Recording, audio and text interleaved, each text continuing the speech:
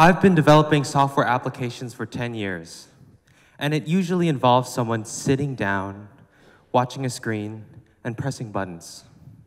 I wanted to build something that motivates people to get up and move. The answer was a social dance game called Dance Battle.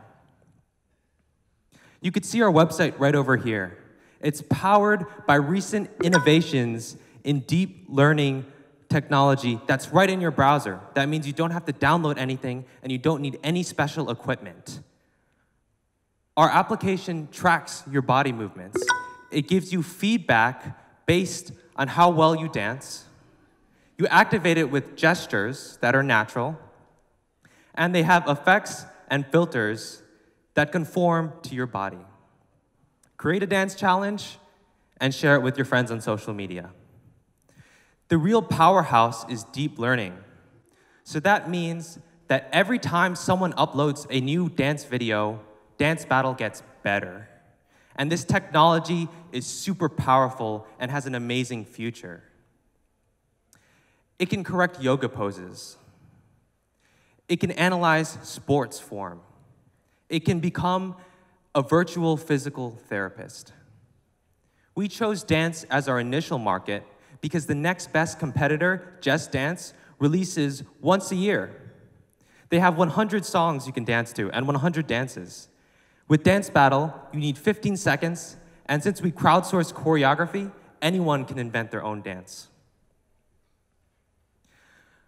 We can afford to give this game away for free because we charge for add ons, effects, and filters.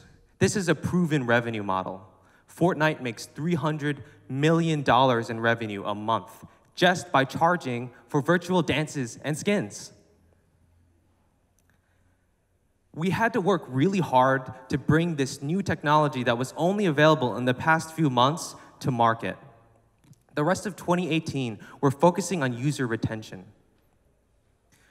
Our plan for 2019 is to partner with social media dance influencers with large followings to grow our user base. And the future vision is to branch out into other industries. This is our team. We have the right skills and the right moves to make this happen. We're looking for an angel to join us on our vision to make the world dance just a little bit more.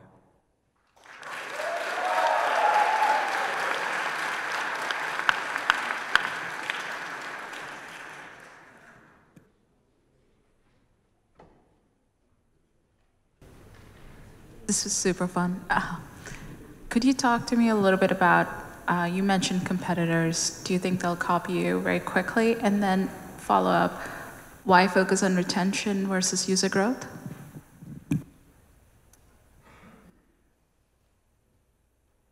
The technology that's really powering our computer vision is deep learning, and deep learning improves with large data sets. So the more people get on board our platform, the better our product will become. And with strategic partnerships, we think we can have a competitive advantage. And also, we're the first to market.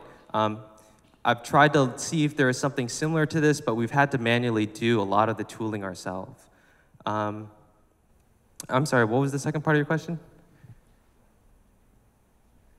Just you mentioned in 2018 you're focusing on retention. In 2019 is where you're focusing on growth and user acquisition. Why not focus on acquisition now first?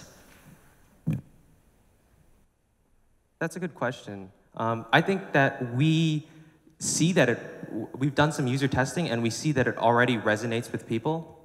And we want to really give them a reason to stick around and not just be a gimmick, but be a real platform that people can come back to.